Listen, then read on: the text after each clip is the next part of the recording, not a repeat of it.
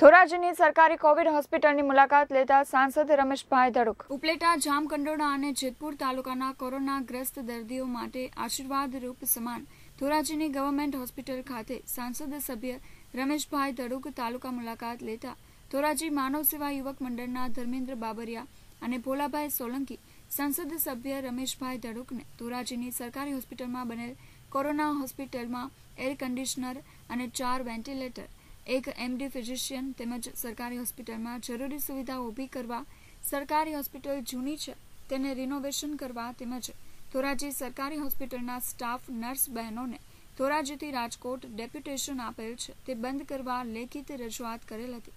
અને આ અંગે સાંસદે જણાવેલ કે ટૂંક સમયમાં આ તમારા કાર્યને પૂર્ણ કરી આપશો.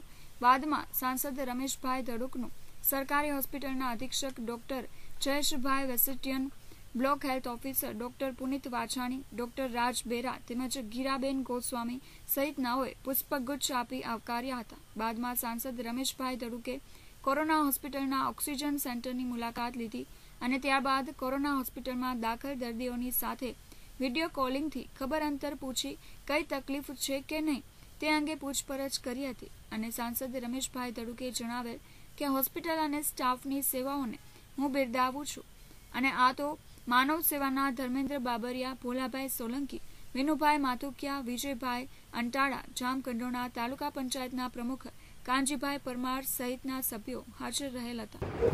આજરોજ ધોરાજી ખાતે સિવિલ હોસ્પિટલની મુલાકાત લેવામાં આવી છે અને એમાં કોવિડ હોસ્પિટલની પણ અંદર મુલાકાત લીધી.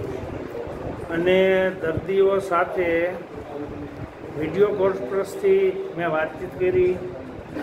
દર્દીઓને બધાને તબિયત એમની પૂછવામાં આવી અને દર્દીઓને કોઈ જાતની તકલીફ નથી, જમવાથી માંડી અને લગભગ મોટાભાગના દર્દીઓ સાથે મારે વીડિયો કોન્ફરન્સથી વાત કરી અને હોસ્પિટલમાં ખૂબ સારી સુવિધા છે, ડૉક્ટરનું કામ પણ ખૂબ સારું છે, જમવાનું પણ ખૂબ સારું છે. બધા દર્દીઓ સાથે વાત કરતાં આવી રીતે જાણવા મળ્યું છે કે ભાઈ કોઈ જાતની તકલીફ નથી. ખાસ કરી ડૉક્ટરોને પણ ખૂબ ખૂબ અભિનંદન આપું કે આવી ખૂબ સરસ મજાની સેવા કરી રહ્યા છે.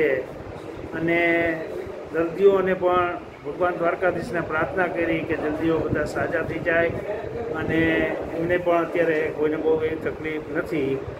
અને જે કાંઈ નાના મોટા પ્રશ્નો હોસ્પિટલના રજૂઆતો આવી હતી એ સરકારમાં આવેલી તકે અમે કરાવવાની પૂરી મહેનત કરશું. સાહેબ તમે દર્દીઓને મળવાની એક ઈચ્છા વ્યક્ત કરી. દર્દીઓને મળવાની તો મારી ખાસ ઈચ્છા હતી મારે તો બીપી કીટ પહેરીને અંદર જવું હતું પણ મારા માપની કીટ નહોતી. એટલે મેં વીડિયો કોન્ફરન્સથી વાત કરી. જેથી કરીને હું એમની સાથે વાત કરું તો એનું મનોબળ વધે એને કાંઈ તકલીફ હોય તો એને આપણને ખબર પડે તો આપણે એની વ્યવસ્થા કરાવી. કોઈ પણ દર્દીઓને કાંઈ કોઈ પણ જાતની તકલીફ હોય તો આપણે વ્યવસ્થા કરાવી, જરૂરી સુવિધા કાંઈ ઘટતી હોય તો એ પણ પૂરું કરાવી. અને મને એવું લાગે છે, મારી યારે વાત કરવાથી એનું મનોબળ મજબૂત થઈ જાય.